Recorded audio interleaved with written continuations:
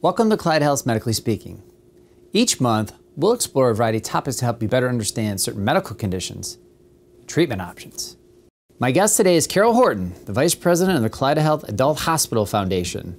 Today, we'll be discussing the foundation and how it supports Kaleida Health's vital services to the community. I'm Mike Hughes, and this is Medically Speaking.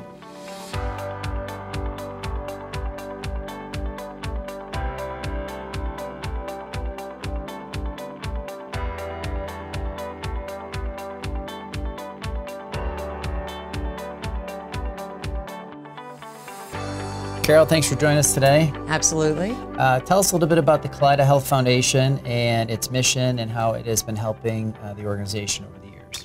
So, it's really been the mission of the Kaleida Health Foundation to support the mission of Kaleida Health itself. So, our values, our pillars, our community initiatives.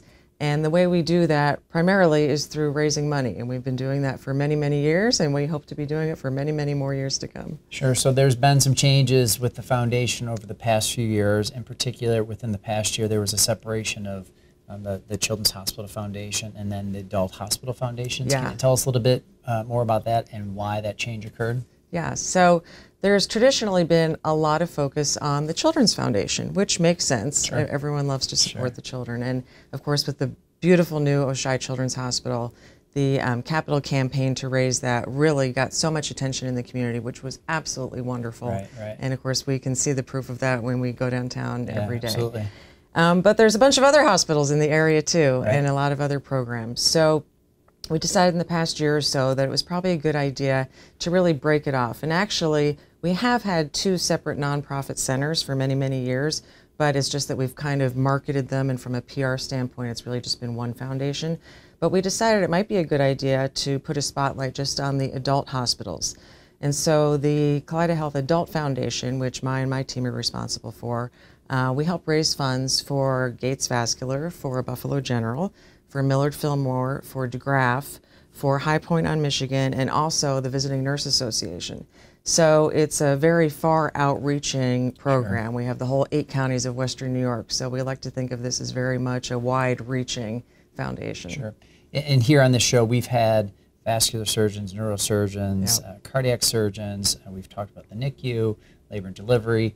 Uh, why are those programs so important in Western New York? And then, what is your role and the foundation's role in promoting them and maybe maybe raising money and awareness for them? Yes, well, sadly, of course, you and I would know nothing about this, but in Western New York, we do have a population that's getting a little bit more mature. Sure. And um, heart health is very, very important to Western New York. Unfortunately, you know, we don't have the greatest numbers when it comes to that.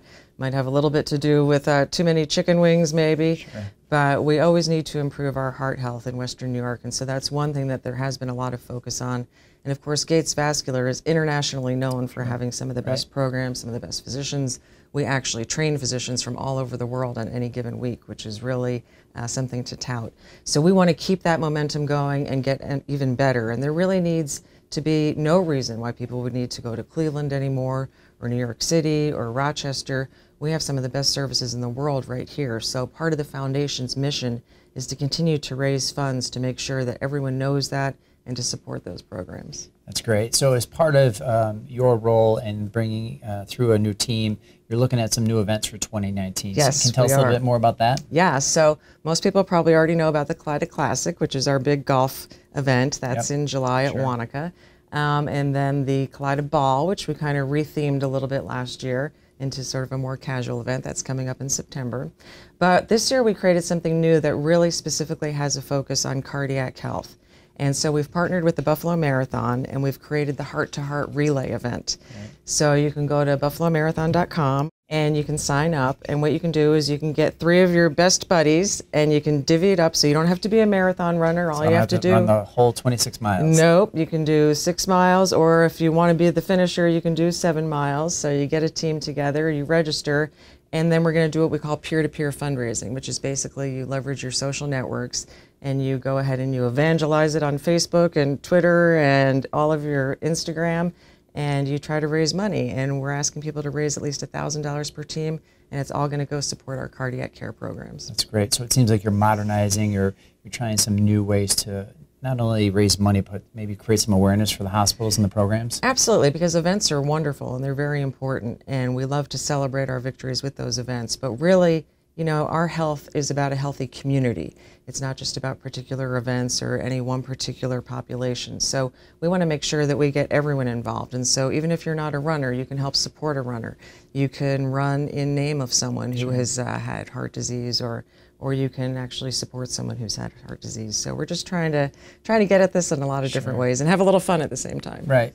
So so talk a little bit about the foundation and your mission is it just about raising money? If I was, um, you know, a former patient at one of the hospitals, mm-hmm. um, and I don't have the means, but I want to do something to help the hospital or the foundation, what are some other things that I can do?